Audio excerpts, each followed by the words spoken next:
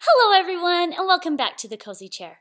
Thank you so much for sending me your pictures on Instagram because you get to see me, but I really want to see all of you. So send me your pictures on Instagram because it is time to play Who's Listening?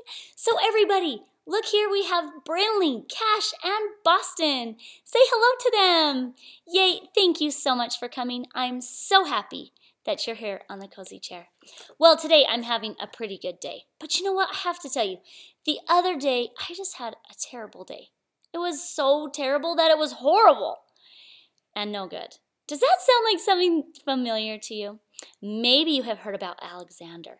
And Alexander had such a terrible, horrible, no good, very bad day that you know what? Judith Viorst wrote a book about it. So this is Alexander and the Terrible, Horrible, No Good, Very Bad Day by Judith Viorst. And today I'm going to be reading this for Tabby. Hi, Tabby! I heard that this is your very favorite book, so I hope that you enjoy listening. Let's see, this is illustrated by Ray Cruz. And poor Alexander, I mean, just look at him. He even looks like he's having a hard day, doesn't he? Well, let's see what Alexander has to say today. I went to sleep with gum in my mouth, and now there's gum in my hair. In, and when I got out of bed this morning, I tripped on the skateboard, and by mistake, I dropped my sweater in the sink while the water was running. And I could tell it was going to be a terrible, horrible, no good, very bad day. At breakfast, Anthony found a Corvette Stingray car kit in his breakfast cereal box, and Nick found a junior undercover agent code ring in his breakfast cereal box, but in my breakfast cereal box, all I found was breakfast cereal. I think I'll move to Australia. See, sometimes when we have a bad day, we just want to move away, don't we? In the carpool, Miss Gibson let Becky have a seat by the window. Audrey and Elliot got seats by the window, too. I said I was being scrunched. I said I was being smushed. I said, if I don't get a seat by the window, I'm going to be carsick. No one even answered. I could tell it was going to be a terrible, horrible no good, very bad day. At school, Miss Dickens liked Paul's picture of the sailboat better than my picture of the invisible castle. At singing time, she said I sang too loud. At counting time, she said I left out 16. Who needs 16? I could tell it was going to be a terrible, hor horrible, no good, very bad day. I could tell because Paul said I wasn't his best friend anymore. He said that Philip Parker was his best friend and that Albert Moyo was his next best friend and that I was only his third best friend. I hope you sit on a tack, I said to Paul. I hope the next time you get a double-decker strawberry ice cream cone, the ice cream part falls off the cone part and lands in Australia. That always makes us sad, huh? When our best friends find other best friends? Yeah, that's not very fun, is it? There were two cupcakes in Philip Parker's lunch bag, and Albert got a Hershey bar with almonds, and Paul's mother gave him a piece of jelly roll that had little coconut sprinkles on the top. Guess whose mother forgot to put in dessert? It was a terrible, horrible, no good, very bad day. Oh, poor Alexander.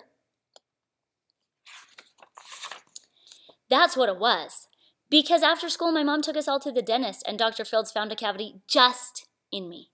Come back next week and I'll fix it, said Dr. Fields. Next week, I said. I'm going to Australia. Oh, poor kid. Look at his messy hair. He even has messy hair on his bad day.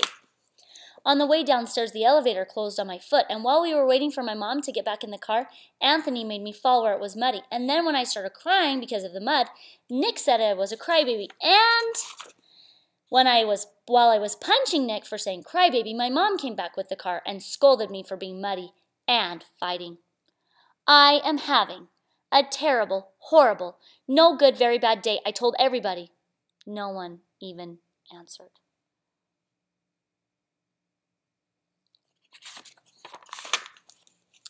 So then we went to the shoe store to buy some sneakers.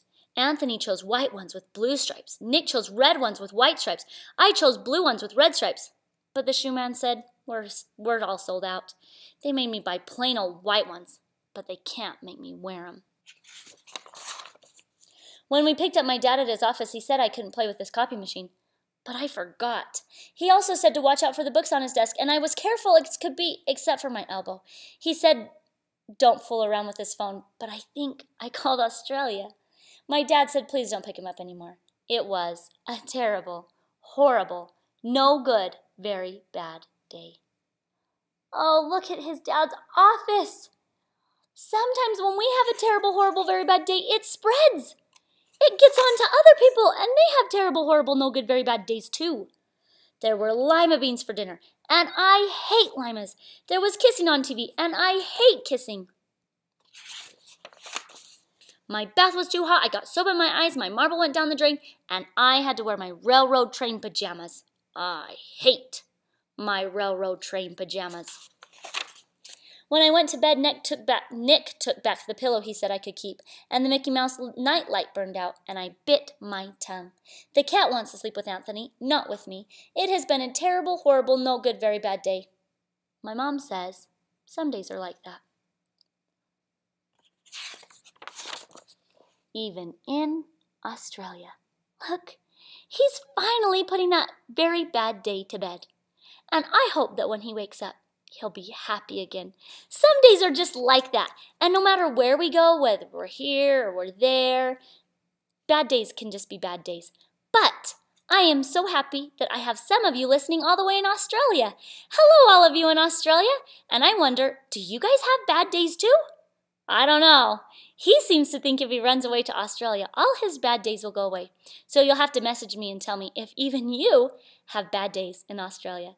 Thanks all of you for coming, and remember that if you want to see your picture up here, then you need to send it to me on Instagram at the Cozy Chair Club.